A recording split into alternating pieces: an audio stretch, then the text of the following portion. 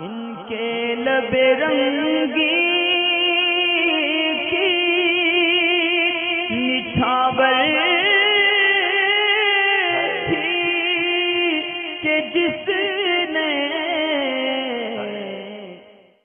वालेकुम अस्सलाम वरहमतुल्लाहि वबरकातुह।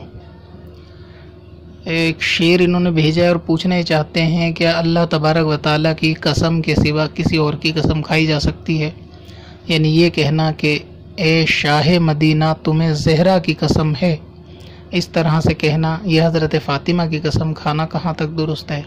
कसम के ताल्लुक से अहल सुन्नत ने यही फरमाया है, जो कुरान हदीस की रोशनी में है, कि अल्लाह तबारक व की ज़ात और सिफाती नाम के जिससे कसम खाई जाती हो, उसी से कसम कसम होगी।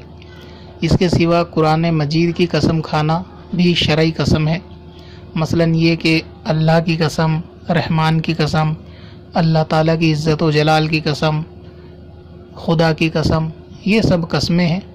इसके सिवा कुरान पाक की कसम, कलाम इलाही की कसम, ये सब भी शरई कस्में हैं।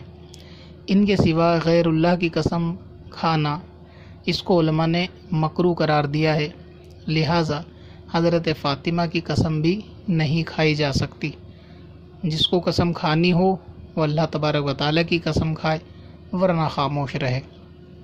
अब ये कहना कि हुजूर सलाम को हज़रत फ़ातिमा की कसम, ये भी दुरुस्त नहीं है।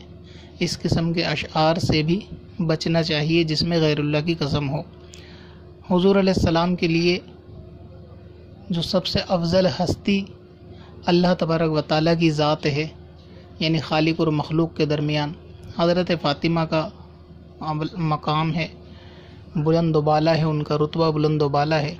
लेकिन हुजूर सलाम को या किसी को भी अगर कसम खानी हो या कसम देनी हो तो अल्लाह तबारक व ही की कसम दी जाए।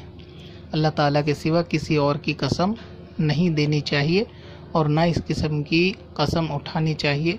इस किस्म के अशार से भी, पढ़ने से भी बचना चाहिए। वल्लाह ताला आलम पत्थर में असल पुरन